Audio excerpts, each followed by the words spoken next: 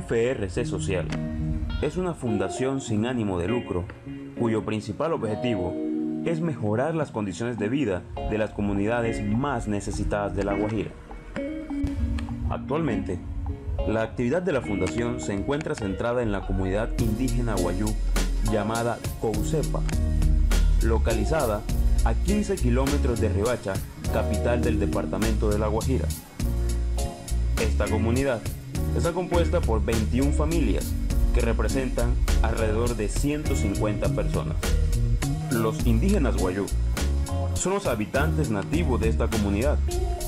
Se dedican, entre otras actividades, al pastoreo de animales, la pesca y la elaboración de artesanías tejidas completamente a mano.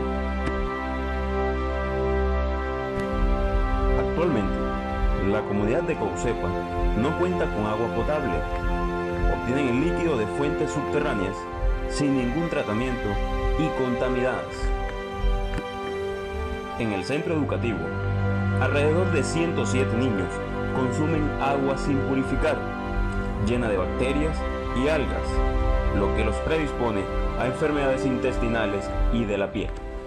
La Fundación FRC Social, ante la necesidad de potabilizar el agua, desarrolló un proyecto que implica la instalación de una planta potabilizadora de agua y un centro de almacenamiento para mejorar la calidad del líquido que consumen actualmente los indígenas. Con esta planta, se logrará potabilizar alrededor de 400 litros de agua al día, apta para el consumo humano.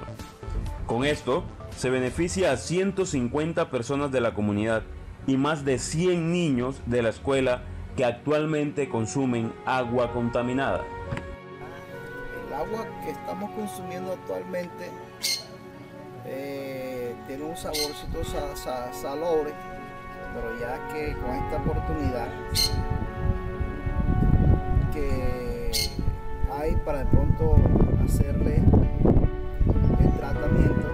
que sea un agua potable y, se, y, sea apto, y sea apta para el consumo humano y sería un beneficio para las comunidades y así podamos gozar de dicho líquido precioso. Para la realización de este proyecto y su ejecución completa, necesitamos de recursos financieros.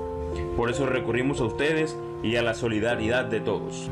Con su ayuda, podremos lograr la meta trazada y mejorar las condiciones de vida de la comunidad Guayú Coucepa.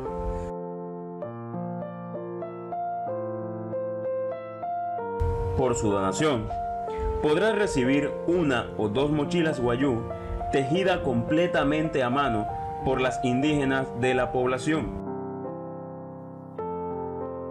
Con tu ayuda podremos lograr nuestro objetivo.